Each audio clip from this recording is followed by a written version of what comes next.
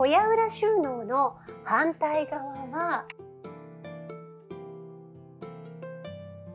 4畳分のウォークインクローゼットになっているんです。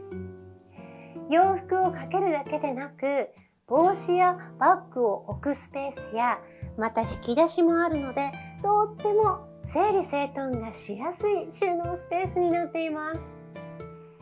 バルコニーに出てみるとこちらの手すり壁高いですよね。2メートル10センチあるそうなのでプライベートな空間がしっかりと確保することができるんです。それならここにテーブルと椅子を置いて夫婦だけの楽しい時間を過ごすこともできますね。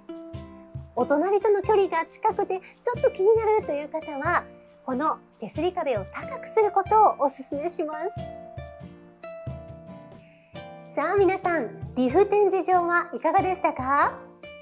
リビング上の小屋裏収納や大きなカップボードまたファミリークローゼットなど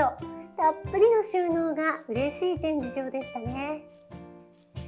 たくさんの収納スペースを設けるだけでなくそれをどう活用するかもすっきりとしたお家作りには必要です。そんな収納の工夫が載っているのがこちらの収納アイディアブック。気になるという方はぜひホームページの資料請求ページをご覧ください。山田ホームズの展示場を見学したいという方はぜひ概要欄のリンクからウェブ来場予約をしてください。